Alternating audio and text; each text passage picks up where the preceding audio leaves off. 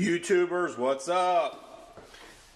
Hey man, I wanted to share this simple little tool with you um, for aligning the tailstock in your lathe. This tool is based on Tubalcain's method of tailstock alignment. Um, you can get it pretty close. The disadvantage to it is um, you're going to have variances in your lathe bed. So once you move your tailstock, you're really not going to be dead nuts centered. Um, I think the most accurate method is the barbell type um, alignment bar. Um, that way you could have different length bars for your tailstock to be in different positions. But if you move your tailstock and just wanted to um, get dead center close up to the chuck, this method works pretty darn good. Basically all I did is I took a little piece of material, um, just machined it, uh, center drilled it, uh, quarter 20, um, milled a little slot in it. Then I took uh, a piece of half inch hot rolled from hardware store, um, milled it out uh, basically so this thing locks in in here like that. Pretty simple little tool. And then I drilled a um, quarter inch hole here with a lock screw for my Starrett plunge indicator right here.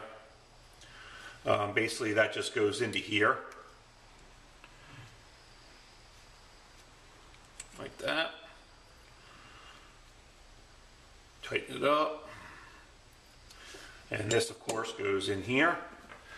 Um, the reason I milled out a length of what five inches here six inches um, is so you have an adjustment you may have different size tools in your tailstock this will allow you to align that individual tool for your job so that's why I made this adjustment um, Tubalcain's method was a uh, 2x4 with a hole drilled in it and it's pretty darn effective but I was always drilling holes in different places to try to get different um, tool diameters.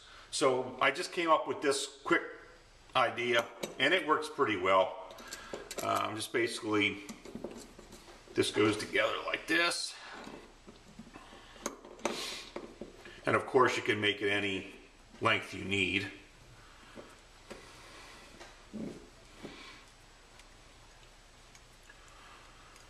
We'll do is we'll go over to the lathe here in a minute and I'll show you how this tool works. So uh, let me shut you down and we'll be right back. Okay, we're back um, over at the lathe now. And basically, all you do is you uh, take your little homemade tool, chuck it up,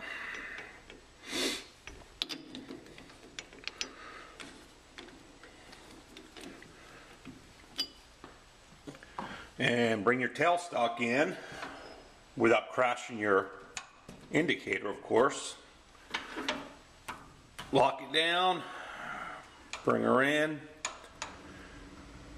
Um, for this demonstration I basically used just a um, Morse taper 3 to Jacobs taper 6 um, drill chuck arbor and then once you get that set, make sure it's locked down and your quill's locked because it'll show a variance.